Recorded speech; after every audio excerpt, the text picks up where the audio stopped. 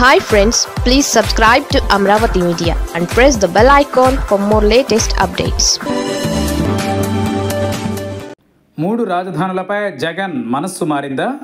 చంద్రబాబు సర్కార్కు అత్యంత ప్రాధాన్య అంశం రాజధాని అమరావతి నిర్మాణం.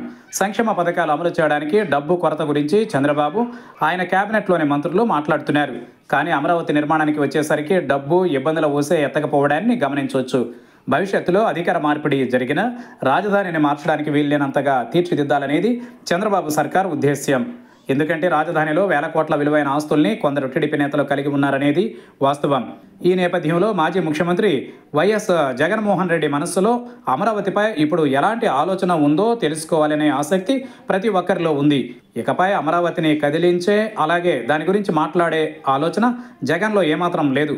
దాని మానాన అలా కొనసాగాలని జగన్ భావిస్తున్నారు. అందుకే అమరావతి అభివృద్ధికి పదిహేను వేల కోట్లు అప్పుగా కాకుండా గ్రాంట్గా ఇవ్వాలని లోక్సభలో బడ్జెట్పై చర్చలో భాగంగా వైసీపీ ఎంపీ మిథున్ రెడ్డి కోరడాన్ని ఆ పార్టీ ముఖ్య నాయకులు గుర్తు చేస్తున్నారు.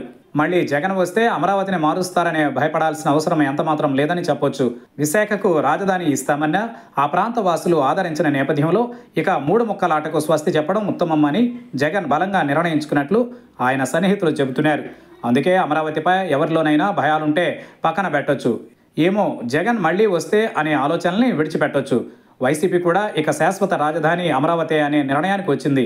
అయితే గత ఐదేళ్ళలో మూడు రాజధానుల పేరుతో ఎన్నెన్నో చూసి ఇప్పుడు అకస్మాత్తుగా ఏకైక రాజధాని అమరావతి అని అనలేని పరిస్థితి. ఏది ఏమైనా అమరావతి గురించి ఇక పట్టించుకోకపోవడమే సరైందని జగన్ ఆయన చుట్టూ ఉన్న ఇద్దరు ముగ్గురు నేతలు నిశ్చిత అభిప్రాయానికి వచ్చారన్నది వాస్తవం.